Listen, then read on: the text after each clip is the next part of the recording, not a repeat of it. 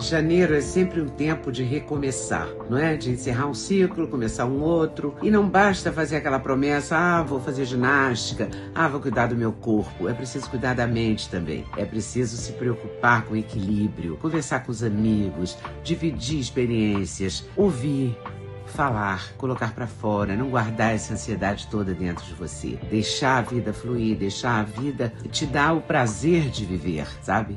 Eu acho importante pensar nisso. Então, em nome desse janeiro branco, eu passei aqui para te sugerir tomar a vitamina D3 Max. Por quê? Porque ela ajuda o equilíbrio, ela ajuda a você não entrar em depressão, ela ajuda você a diminuir a ansiedade. E a gente fica muito ansioso nessa época. Vamos ter um janeiro branco de equilíbrio, de saúde mental, espiritual e física.